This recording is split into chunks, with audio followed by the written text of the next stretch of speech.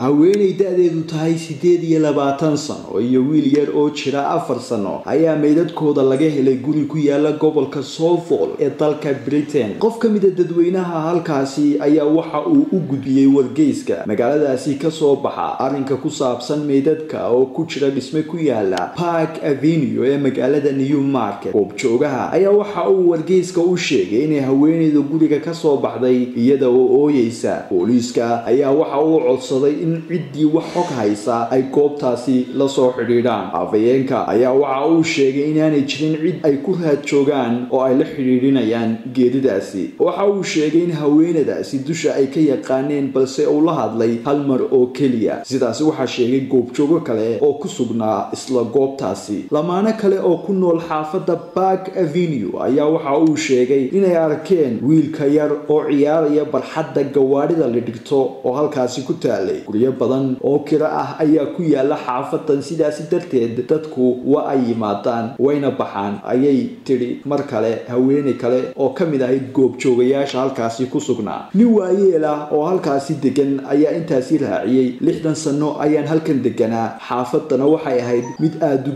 degan oo wax dhiba aanay ka jirin. Waa wax laga naxo musiibadani